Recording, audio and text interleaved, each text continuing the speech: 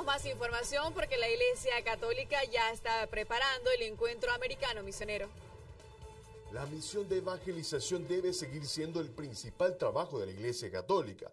Así lo señalaron las autoridades de la Iglesia en Santa Cruz, en donde ya se preparan para el quinto Congreso Americano de Misiones que se va a llevar a cabo en Bolivia el 2018.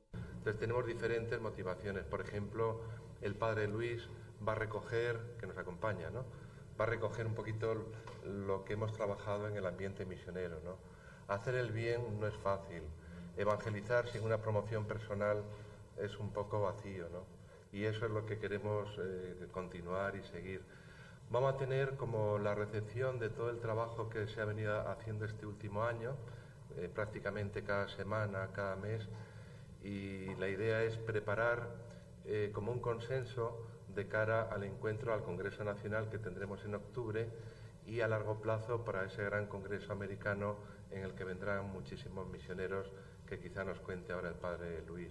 Es por esto que en los siguientes días, en los encuentros que se van a realizar de pastorales, los laicos comprometidos y las autoridades de la Iglesia van a debatir mucho en diferentes aspectos, por ejemplo, en la identidad que tiene la Iglesia Católica en los diferentes lugares y en su compromiso de resguardar los valores para la misión.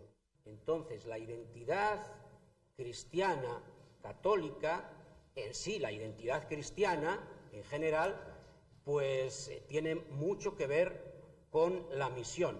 O sea, la iglesia es misionera y todos los bautizados, por el hecho de serlo, somos misioneros.